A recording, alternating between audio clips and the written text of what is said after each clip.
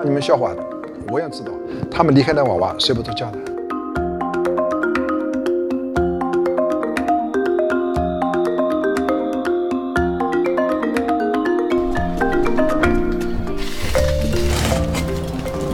送过的进行修复的这个娃娃呢，它有各种各样的情况，有的是意外的情况，更多的是这个娃娃呢变老了、变旧了，因为都是二十年、三十年以上的。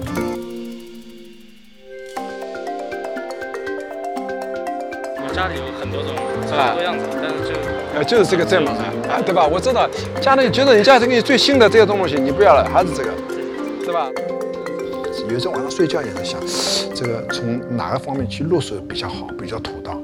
睡不着觉的就到这个东西，因为这个对他们来讲太重要了。不怕你们笑话，我也知道，他们离开那娃娃睡不着觉。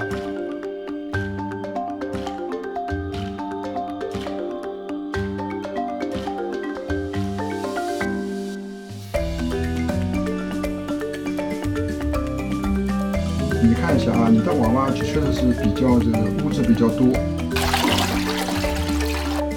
他们不敢清洗，第一怕变形，第二呢怕洗坏，所以一年以上不洗澡，这个是最正常的。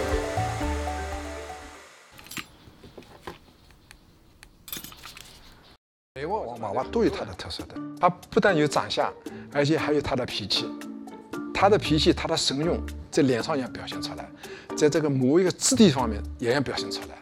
而且你修复的东西正好要符合他脑子里想象的那个形状，那么就对了嘛，对口了。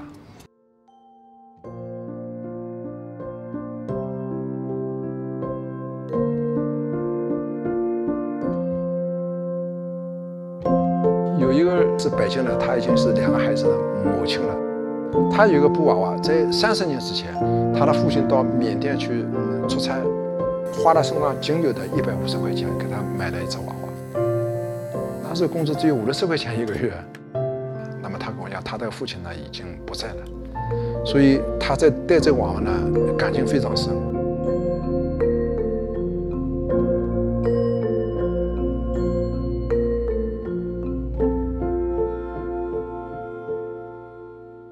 你们可能没这感觉，我我有这感觉。他呢，他就写过来，看到吧？